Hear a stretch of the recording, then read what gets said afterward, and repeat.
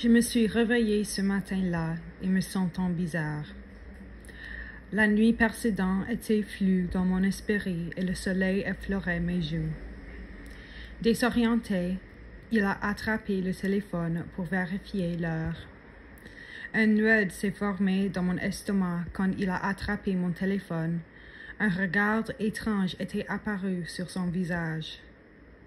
Je n'avais jamais vu ce regard avant ce jour-là et j'espère je jamais le revoir, la confusion et l'inquiétude apparaissant dans le silence de son front.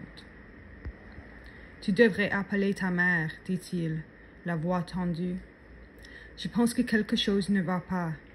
Tu as vingt appels manqués. J'ai hésité avant de prendre le téléphone, le sentiment dans mes tripes grandissant alors que je retournais l'appel de ma mère.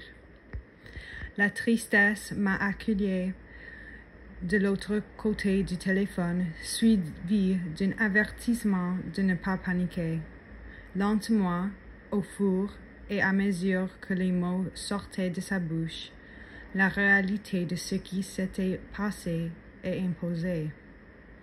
Enfin, nous avons entendu des chuchotements, des rumeurs sur ce qui était notre famille à l'époque. Avoir un homme comme notre dans une ville avec une réputation du crime organisé ne pouvait que faire l'objet de remords. Mais c'est tout ce qu'elles ont toujours été, des remords, ou elles l'étaient jusqu'à ce jour. La pièce s'est mise à tourner pendant que ma mère expliquait ce qui était passé. Mon oncle avait été abattu sur le pas de sa porte et l'homme qui l'avait tué s'était enfui. Alors que j'étais assis là, sous le choc de l'information que je venais de recevoir, ma vision s'est obscurée. Le temps semblait s'arrêter alors que la panique et la tristesse s'emparant de tout mon être. On ne connaît jamais la vraie peur avant ce moment, avant un moment comme celui-là. La mort vous regardant droite dans les yeux. Après un moment, j'ai enfin pu reprendre mon souffle, bien que la panique n'était diminuée que pendant une seconde avant revenir avec une vengeance. Des pensées sombres ont commencé à obscurer mon esprit quand j'ai pensé à mes cousines. Je ne pouvais m'empêcher de voir leur visage, choqués et vides de leur sang, alors qu'ils regardaient la lumière s'échapper des yeux de leur père. C'est là que j'ai craqué. La peur, la tristesse et la panique ont été rapidement remplacées par une rage blanche. J'étais trop loin à des heures de la maison et incapable d'aller vers ceux qui avaient le plus, le plus besoin de moi.